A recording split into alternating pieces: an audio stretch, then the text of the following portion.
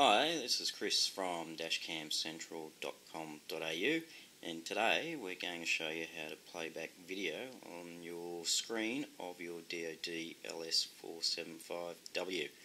Uh, menu functions in this camera are pretty similar to all of the LS series, so um, pretty much all the others will have a similar setup, so this video really applies to, to most of the LS series in the DoD range but we've got the 475 in front of us so that's the one we're going to use today. So to get up and running we're just going to get some power onto the camera and you'll see that it's going to come to life. It's going to charge up, screen's going to come on and it's going to go straight into recording mode. You see it's flashing away there which is what it's designed to do. Now like most dash cams to get into your menu functions you do first need to stop the camera recording uh, otherwise it's just going to give you a message and it's not going to go into your menu functions.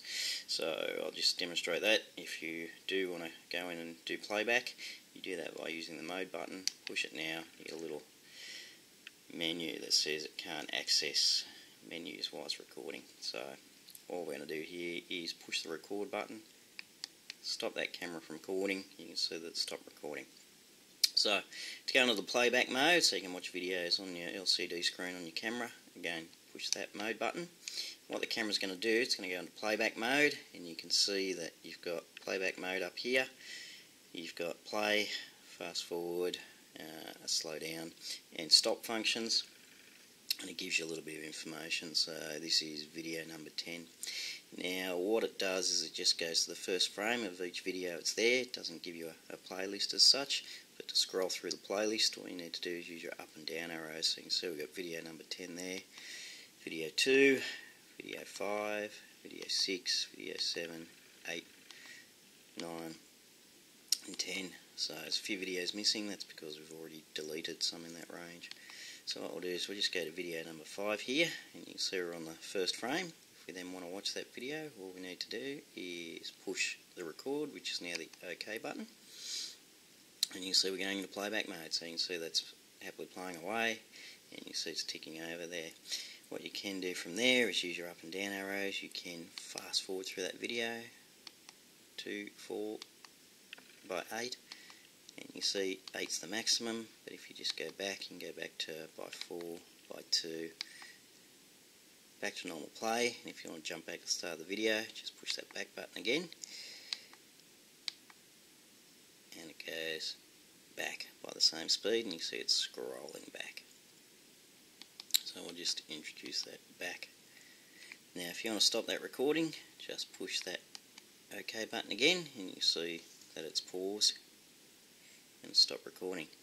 So the other thing that you can do while you are watching and playing back your videos, if we just stop this one, if we push that mode button just to go out of the function there, just go back to normal play mode and back in you can see we're back into the playback function and we're just going to select that video number 5 again now if you push the menu button instead of the record button what it does it brings you up some options so you can actually go down you can delete that you can protect it or you can run through a slideshow of that particular video so if we go into slideshow you can see uh, a couple of options there. So it'll just jump and give you still frames every 2 seconds, 5 seconds or 8 seconds. So we'll just we'll back out of that one at the moment. And uh, what we will do is we'll show you how to delete a video. But we'll go into a locked video. So we'll go into video number 2 and you see a little lock in there. So that's a read-only video. That's one that you've locked for an emergency or a G-Shock or for some reason. And we're go into our menu we're going to try and delete that one. So we're going to delete, push OK, say delete all, or delete current. We're going to delete the current because we don't want to delete every video on here. Push that, delete this video, click OK, and it tells you it's a protected file. So you can't accidentally delete that video. What you do need to do is go into your protect and it'll ask you if you want to lock the current file. It's already locked. Do you want to unlock it, lock all the files, or unlock them all in this case? We're just going to unlock this one. And now we're going to go back up to delete, and to delete again. Again, we don't want to delete all, we want to delete the current. Push that, delete this video. Yes, we do. And that video has now been deleted. So if we go back to the menu, you'll see that we've jumped to video 5. If we go back and try and have a look at number 2, we see we've got number 6, number 7, 8, 9, 10, it goes back to 5. So that previously locked file we've unlocked and we've deleted it. So you can go through and delete your videos one at a time, you can lock them all, unlock them all, so you've got all that functionality in there. Then when you're done, just go back, push your mode button and it will take you back into standard playback.